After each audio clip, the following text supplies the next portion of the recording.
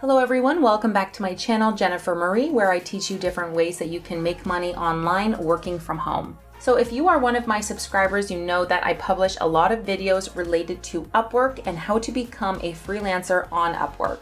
And in today's video, I'm going to teach you step by step how to get paid for Upwork projects and show you exactly what this process looks like. So before we get started, if you don't know what Upwork is, it's a platform where you can sell your freelancing skills and services and apply to jobs for free. There are thousands and thousands of different types of jobs from all different categories on Upwork. If you want more in-depth tutorials on how to create a profile and how to sign up to Upwork, you can check out the playlist that I will link you to in the description below this video.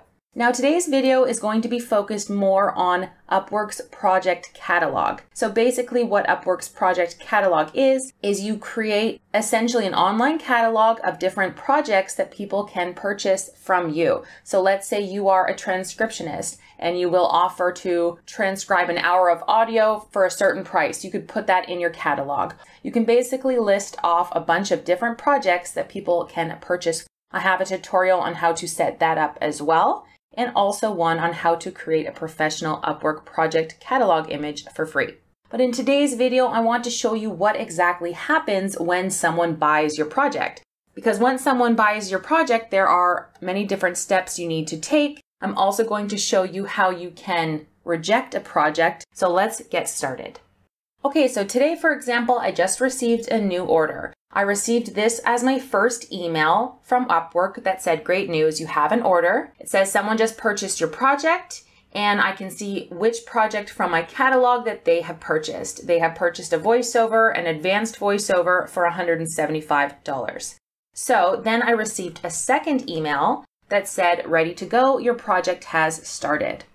And then here, based on whatever project settings I created, they will tell me the delivery date. So I am supposed to finish this voiceover by September 18th.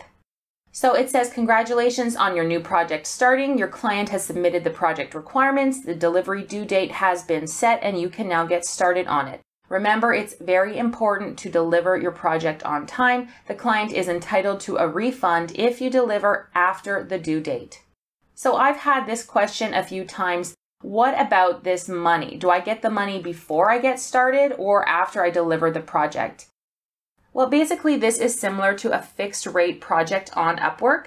When someone purchases a project from you, they pay the amount in advance. So even though you don't have access to the money in your account, that money has been placed in escrow. So the client can't just not pay you. They have to pay you if you complete the job successfully. So with the project, we have a contract workroom. So it's a little different from the messaging center, but it's basically the same thing. The contract workroom lets you collaborate with your client, send messages, meet via video, and track payments. So you're going to click View Contract Workroom. And this is going to give you more information about the project and what exactly the person has purchased from you. So you can see that the client purchased my advanced package, but there's even more money here, $230, because he has paid for extras. You can click here on details, and if we scroll down, you'll see exactly what he purchased. So he purchased my advanced package. So basically, he's also paid extra for fast one day delivery, and then he also wants split files. So it will be split into five different files. And if I click on view project page, you can see this is the project that we created together in one of my last videos. So when he ordered, he clicked on the advanced tier and that had preset all of these different things that I would include. You can also see here how many contracts I have in progress. So this is only one in progress right now, the guy who just ordered from me. So let's go back to overview. You can see under project timeline, the order was placed five hours ago. He submitted the requirements four hours ago. And if you want to figure out, well, where are the requirements, because he is supposed to send me a script of what he wants recorded, you can go into the messages, and here it shows you when he purchased the project, and then it says he submitted the requirements for the project.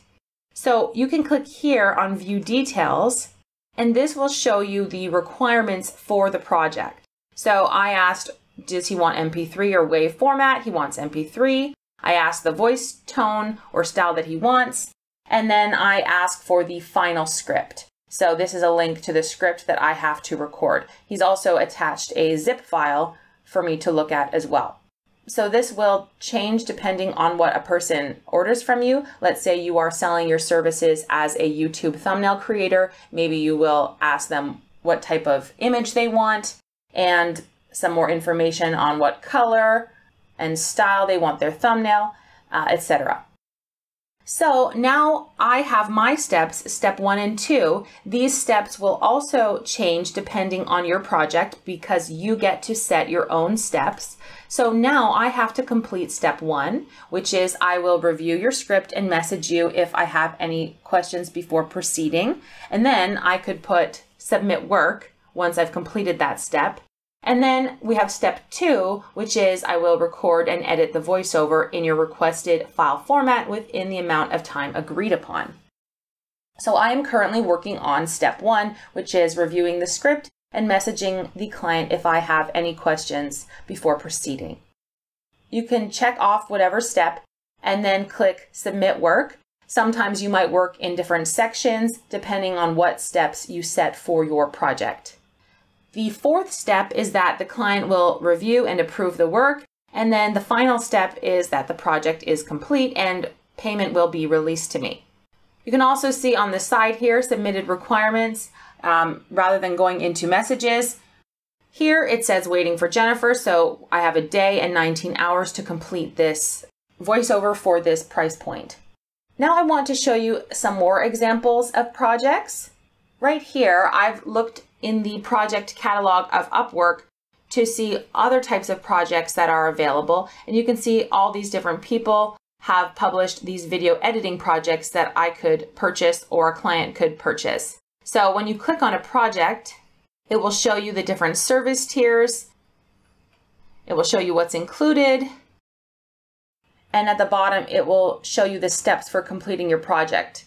Now again, I have a detailed video on how you can set up your project in your project catalog and set the service tiers and also the steps. Okay, so what happens if you do not want to work with the client? For example, I had someone who wanted me to do a voiceover for them and the script was very adult rated. It was very inappropriate and I had no interest in recording that because I didn't want my voice to be attached to that sort of script.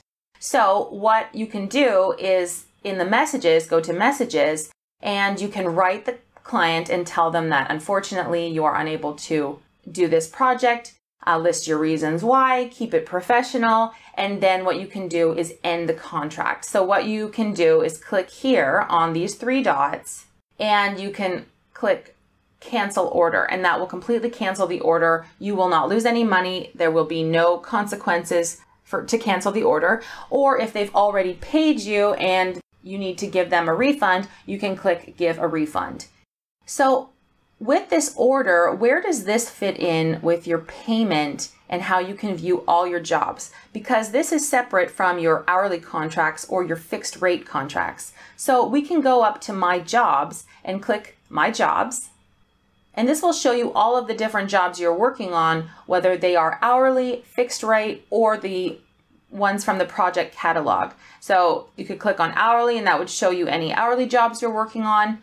Or under active milestones, this would combine both the ones from the project catalog and also any fixed rate jobs that you have going on. What you can also do is up here under find work, you can click on My Project Dashboard, and this will show you the projects that you currently have in your catalog. Remember, you can have several different projects. And it will show you right here how many orders you have in progress. So this is how many are in progress. So let's say you are working on too many orders right now and you don't want more people to be able to hire you, you could toggle this visibility off and we'll hide it from search results and clients won't be able to buy it. You can turn it on again whenever you need to. So you could click turn off if you want to just focus on working on the projects that you have been hired to work on so you don't get too busy.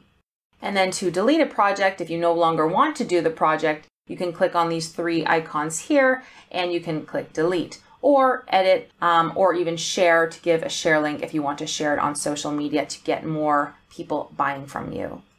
So with this video, I just wanted to explain to you what it looks like once someone buys from you and what you need to do after that in order to successfully complete your order. If you guys want more tutorials related to Upwork, click on the description below to see my Upwork playlist. If you have any questions, feel free to ask me in the comment section of this video, and I will see you in my next tutorial.